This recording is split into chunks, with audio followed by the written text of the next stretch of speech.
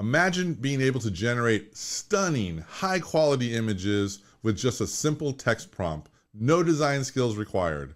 So, whether you're a student creating visuals for a project or a teacher looking to enhance lesson materials, Adobe Firefly is your new secret weapon. And today, I'm going to show you exactly how to use it. Hey everyone, my name is David Basulto. I'm an award-winning media arts instructor. And if you love learning about creative tools that make content creation easier, be sure to subscribe to my channel. I post tutorials, tips, and tricks to help students and educators master digital media. So hit that subscribe button and turn on notifications so you never miss another video. Let's dive into it.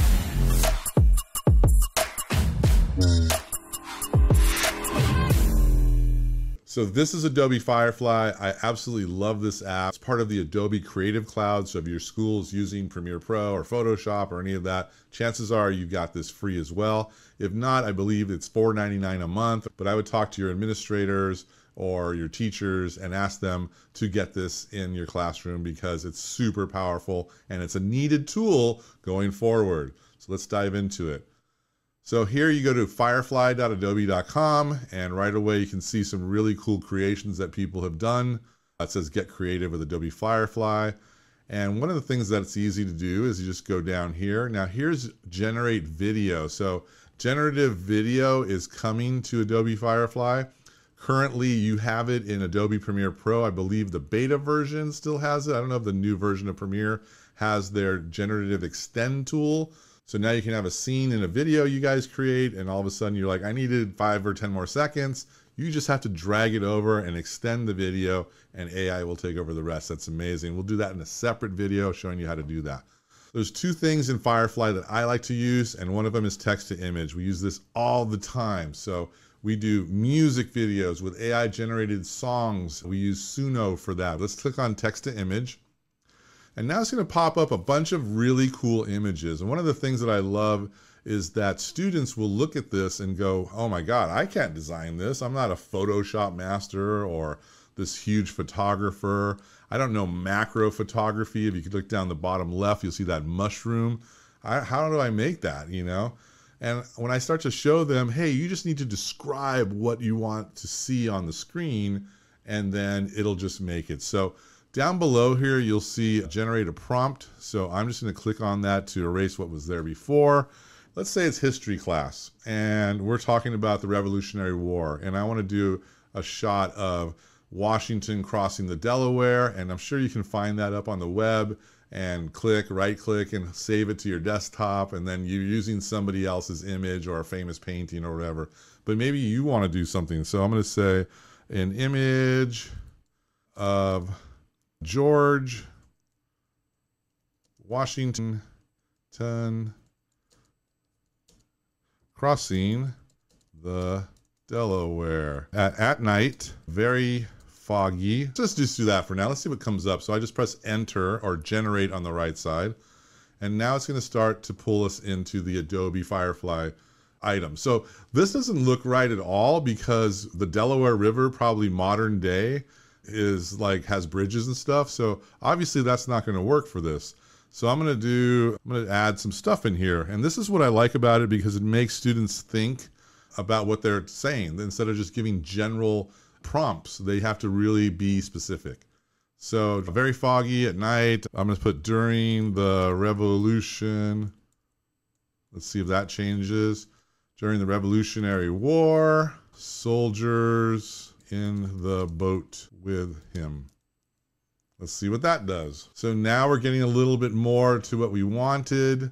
You know, we can see I get rid of the bright lights, etc. It's looking a little, honestly, to me, it's looking a little something from Venice. so I don't think we want that. This bottom left one here looks a little better. Boats are um, 17 76 era canoe type. Uh, let's see if we change that a little bit. Okay, so that looks a little bit better to me. So uh, I, we should also write um, very snowy. Let's see what that looks like. Okay, so now we're starting to get a little bit more. Uh, I'm going to put, I'm going to do very snowy chunks of ice in the water. And let's see what happens. Okay, so now we're getting a little bit better there. I like this. I like where we're headed. If I expand on, let's say this one here, that looks pretty good to me. We can also, uh, you know, change. I don't want the snow falling, but you understand what I'm saying. All of a sudden, we're creating our own imagery to tell our stories. And that's what I love about this. Um, now, as I look through this, some of the things I can do here is I can upscale the image to make it more high resolution. I can do a thumbs up or thumbs down on feedback. I can go right here and download it as is. I can put a star to save it to my favorites, which I actually tell my students to do all the time. I'm like, you know, if you created something and you really like it, but maybe it's not for this, save it for later. You know, it might be something you want to use at another time.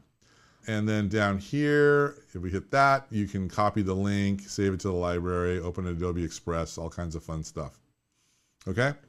So we've got our four images. Um, do I like them or not? You know, we're going to keep them. I'm fine with that for now, for our first image. So now if I go to the left here and go into all the settings, uh, you can see we've got general image, uh, Firefly image 3. And that's the latest model. So I like to use the latest model. I'm going to keep it there. Fast mode, I always like that. It makes things go faster. Aspect ratio. So here's where I can change it to landscape 4 by 3 I make sure my students all use widescreen. So I'm going to run that one more time and we're going to do that. So that looks a little better. So now the bottom right one is starting to look a little better to me. So I'm going to keep that one maybe. Um, and so let's keep going. So now underneath that, it says content type. Now this is a photo. If I go to the left here and click on art and I regenerate that again, let's see what comes up this time. So now it's more of a painting, which I think is really cool. So this one here is looking a lot better. Let's pull this one up and you can see that it looks pretty cool there. Okay. So I'm going to leave it at art. Down underneath art, there's an area called composition. So maybe you have a composition in mind that you want this to reflect. I'm just going to use, there's a gallery here, and there's also these six that they show you. But we can look through all of these and see what looks interesting. Just for the heck of it, I'm going to look and do something like this. And now I'm going to go back. It added down here composition reference. So I'm going to hit that. Now, how is that useful? Maybe I want to use that reference from a painting online or a sketch online or something from that period that someone had drawn. We can use that as a reference going forward. So now with the reference, I mean, I'm getting some really interesting things here. This back here could be like fire or, or cannons or something. So that's what you would do for reference type, okay? Let's keep going down. Style. So now, do you have a specific style that you like? Do you want it to be like Monet or or whatever? You can choose things like that. So let's go through this a little bit and see how this changes up things with imagery and stuff. So let's see, here's architectural, 3D, digital illustrations, neon, landscapes. What's in landscapes? Anything cool? What is this? Let's try this one here. And let's hit the generate again. And now it's going to start to pull from that. So now I brought in this big image. The boat's really tiny down there. Not really what I was looking for. So I'm going to get rid of that under style reference. And let's go back here. See if there's anything else we like. I'm just going to pick this pencil sketch and see what it does to our imagery. And notice I'm just doing this. This is just making great stuff. Look at that. That's really cool. That looks like something that could have been made during that time. So as we, and then imagine you have this in your video about the Battle of Delaware during the Revolutionary War, and you now you could start to zoom in in different editing apps that you're using, preferably Premiere Pro. It's you can start to zoom in as you're telling it using the Ken Burns kind of effect. So one thing I forgot to talk about is in composition and style reference, you have sliders here. So you can do the strength if you want the strength to be 100% or 50% or 0% if you want, you know, the visual intensity of it. So you can do things like that. So let's go back to this one where we added this composition here. And I'm going to put my strength at 100 and let's see what that does to it. And there we go. So that is really looking like that image. So if you really want it to look spot on like that image, you can do things like that. Now, if I bring it down to zero and run it again, it's going to be completely different. So it comes at a default at 50%. And there you go. It's just, it, it has the river in there, but it's changed a little bit, right? So you can do the sliders. They work great. Something to think about. Okay, now I'm going to go back in here. I'm going to get rid of my composition reference and my style reference, and I'm going to run this again. And we should be back to square one. Okay. So now in the effects areas where they can really have a lot of fun, there's bokeh effects, there's layered paper, hyper realistic, etc. I'm going to go back to the top here and start doing something fun with this. I'm going to change this back to photo and I'm going to add the bokeh effect and let's see what that looks like. Okay, so we've got a little bit of lens flare going on. It looks more realistic now. I can click on hyper realistic and the bokeh effect as well. Let's see what that does.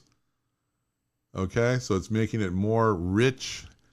Let's go down. Let's get rid of the bokeh effect. Let's look at digital art here.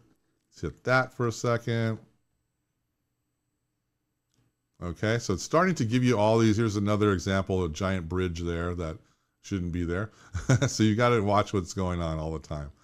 Okay, so I'm to go, and then down here in the bottom, I have different views of what we were looking at, right? So I'm to go back a little bit. I believe this one was really, yeah, I like this one in the bottom right. So I'm to go back to this one. And let's look down here and go into, um, I'm to do digital art, leave that alone. Colors and tones, you can go in here and choose different colors that you want. Vibrant colors. We'll keep cool tone because it's winter. Lighting.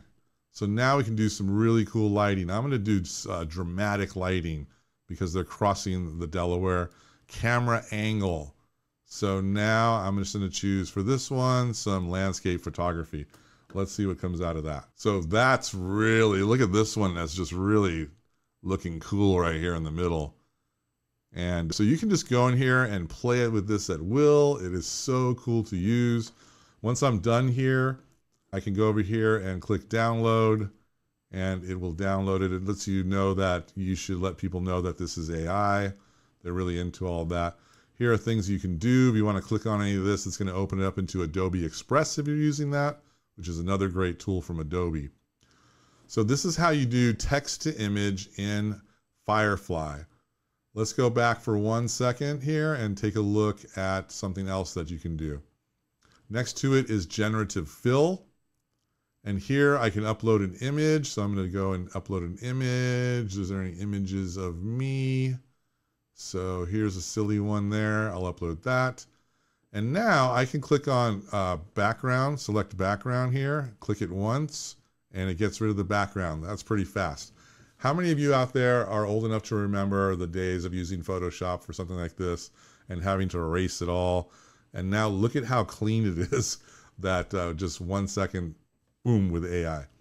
Okay, so now I'm going to go in here and insert. I click the insert. That brings up the prompt right here. So I'm going to say cows in the field. Let's see what it generates for me behind me. And this is really fun to use. I let the kids take pictures of each other and do fun stuff, appropriate fun stuff. So there I am with some cows behind me, and it's just really fun. Super simple tool to use. You can you have the remove tool, so if you want to cut things out, maybe I want to get my finger out, you can do all kinds of stuff. I can expand it. It'll it's going to take me into another app to do that, which I don't want to use right now, so I'm just going to stay here. And then pan, I can just do stuff like that, which is not really something I wanted to do. So we're going to go back. Select background. There it is. And then once again, I'm going to say a field of cows, midday. Let's see what comes up here. And in a few seconds, there I am standing in front of a field of some beautiful cows. So as you can see, Adobe Firefly is just awesome. It's a great tool to use. I highly recommend you guys using it with your students, or if you're a student, ask your teachers to let you try this out for a project or do it on your own. But this is the way you can use AI to make really cool imagery for yourself that you own. Maybe you can make stuff to put it on t-shirts, start a t-shirt business. I mean, it's endless. So I hope you like this walkthrough of Adobe Firefly. It's a great tool. If you have any questions, please leave them below. I will address them ASAP. I'm David Basulto. Please like and subscribe to my channel if you're all about AI like me. I will see you guys in the next video.